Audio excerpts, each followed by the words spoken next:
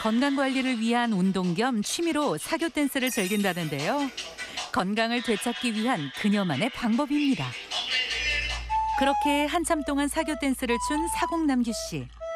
칼로리를 소모한 그녀는 출출해졌는지 간식을 챙겨 나오는데요. 오늘의 간식은 뭘지 한번 볼까요? 이건 떡 아닌가요? 탄수화물이 가득한 떡을 한 입 가득 먹는 그녀. 건강에 괜찮은 거 맞나요? 간식을 안 먹으면 혹시 저혈당이 오거나 이러면은 안 되잖아요. 신호가 옵니다, 몸에서. 일단 어, 머리가 찡하고요. 가슴이 두근거려요.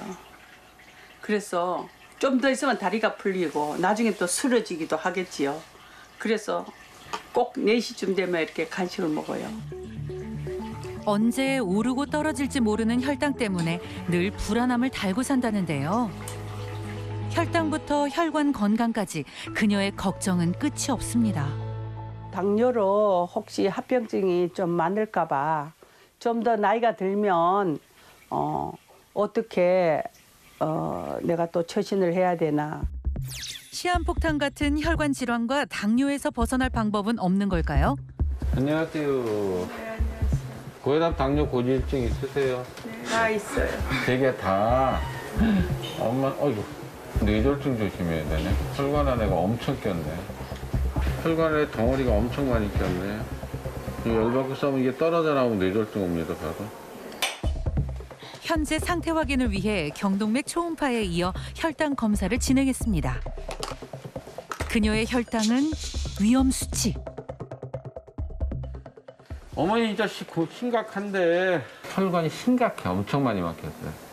저거 보면 피 다 붙어 있잖아요. 피가 멍그러져가지고. 당뇨가 있으면 피가 끈끈하죠? 예, 예. 고지혈증이 있으면 또 끈끈하죠?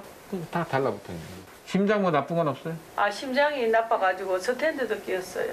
바로 그게 지금 아까 여기 검사했잖아요. 네. 여기가 지금 50% 정도 막혔거든요. 또 혈관이. 음, 그 정도면 여기 스탠드 또 박아야 돼요. 알았죠? 예, 예. 조금만 방치하면 위험해질 수 있는 사공남규 씨의 혈관 건강 상태. 현재 그녀는 콜레스테롤 배출에 도움을 주는 HDL 수치가 정상 범위보다 낮은 것이 확인됐으며 혈액의 형태를 정밀 분석하는 생혈액 검사 결과 정상 혈액에 비해 끈적끈적한 연전 현상이 있다는 소견을 받았는데요.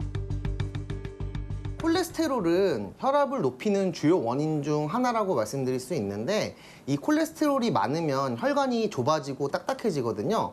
어, 그렇게 되면 심장은 더 큰 압력으로 혈액을 이렇게 밀어내게 되고 그러면 자연스럽게 혈압이 높아지게 된다는 말입니다. 손상된 혈관 내막으로 콜레스테롤이 침투해서 혈관은 다시 또 좁아지는 그런 악순환이 반복되게 되는 거죠.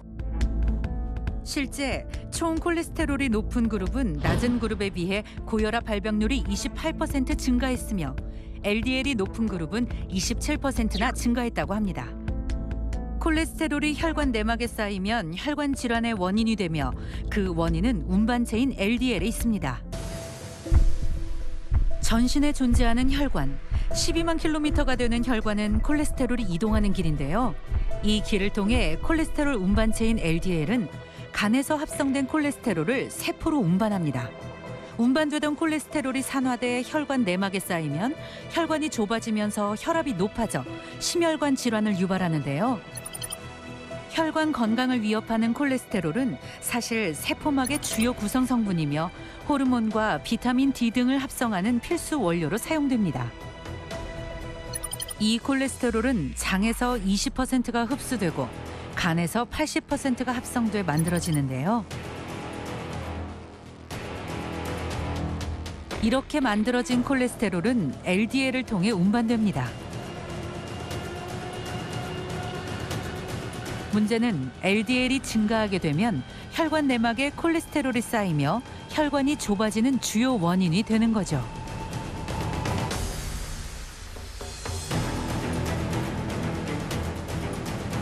혈관이 좁아지면 고혈압은 물론 협심증, 심근경색 등을 유발하게 됩니다. 반면 또 다른 콜레스테롤 운반체인 HDL은 세포와 혈관 플라크 속에 축적된 잉여 콜레스테롤을 간으로 되돌려보내 배출시키는 유일한 대사 경로입니다. 그러므로 혈관 질환 예방을 위해서는 LDL 수치는 내리고 HDL 수치는 올리는 비율 개선이 중요한 거죠.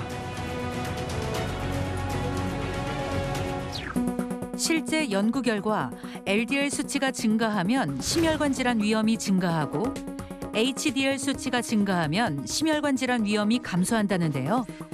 또한 HDL 수치가 낮은 당뇨병 환자에 비해 HDL 수치가 높은 당뇨병 환자의 심혈관 질환 발생률은 11%가 감소됐다고 합니다.